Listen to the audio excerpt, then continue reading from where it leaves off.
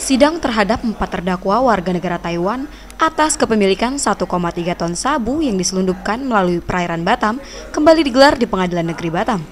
Sidang dengan agenda pemeriksaan saksi verbalisan dipimpin oleh Majelis Hakim Muhammad Chandra, didampingi Redite dan Yona Lamerosa serta Alma, jaksa penuntut umum dari Kejaksaan Agung RI. Sementara itu, keempat terdakwa hadir di persidangan didampingi oleh seorang penerjemah bahasa dan tim penasihat hukumnya. Penyidik BNN ini dihadirkan karena menurut para terdakwa pada persidangan sebelumnya mengatakan bahwa pada saat penyidikan mereka tidak didampingi penasehat hukumnya serta mendapatkan perlakuan yang tidak baik dari para penyidik. Menurut Kombes Pol Sri Ana, selaku penyidik di BNN Pusat, pada saat melakukan penyidikan sudah menjalankan SOP yang sudah ditetapkan dan sudah memperlakukan para terdakwa dengan baik.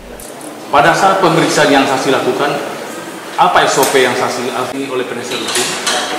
Ada berapa orang penasihat hukum yang mendampingi mereka? Dua. Saksi ingat siapa namanya?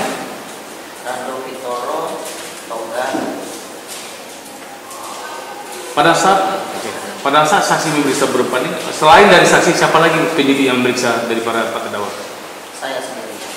Saksi sendiri. Sriana menambahkan, sebelum melakukan penyidikan terhadap keempat terdakwa, pihaknya sudah berkoordinasi dengan penasihat hukum terdakwa serta meminta bantuan penerjemah bahasa untuk mentranslate bahasa sebelum dimasukkan ke dalam BAP.